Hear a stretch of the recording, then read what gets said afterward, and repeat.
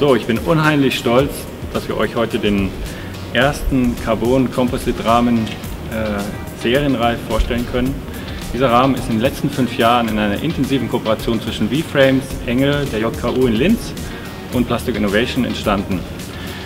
Der Rahmen ist absolut revolutionär in mehreren Gesichtspunkten. Der erste ist, ähm, dieser Rahmen wird im Spritzgussverfahren hergestellt in einem besonderen Verfahren. Das heißt, durch ein Fluidinjektionsverfahren haben haben wir eine Hohlgeometrie, die uns zum ersten Mal einen Rahmen im Spritzgussverfahren äh, herstellt, der genauso steif ist wie ein guter Aluminiumrahmen und dabei noch leichter. Ja. Aus wirtschaftlicher Sicht ist es ebenfalls eine Revolution. Wir können an, mit einer Maschine am Tag 1000 Rahmen produzieren.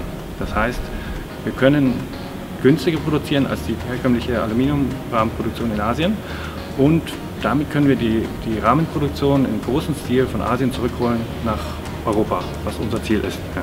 Wir haben allein in unserem Werk bei V-Frames äh, und Isoko eine, äh, eine Kapazität von bis zu 3 Millionen Rahmen, Fahrradrahmen pro Jahr schon heute installiert.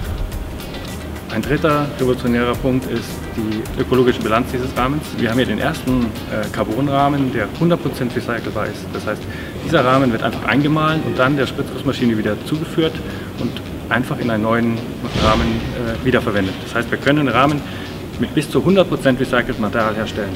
Die Energiebilanz zeigt das gleiche Bild im Vergleich zu, zum Hydroformverfahren für Aluminiumrahmen, äh, wo sehr viel Energie verwendet wird, wo geschweißt wird, wo es viele Vorgänge gibt entsteht dieser Rahmen vollautomatisch in 90 Sekunden im Spritzgussverfahren. Das heißt, was wir machen, wir heizen einfach 3 Kilo Material auf 280 Grad und kühlen es ab und der Rahmen ist fertig. Das heißt, unser CO2-Footprint in der Produktion des Rahmens ist ungefähr 30 Prozent äh, im Vergleich zu einer herkömmlichen Aluminium- oder Stahlrahmenproduktion.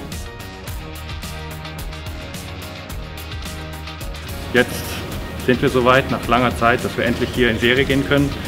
Das ist der erste Rahmen, das ist das erste Rad, was Sie im Markt sehen werden und wir werden noch viel mehr sehen.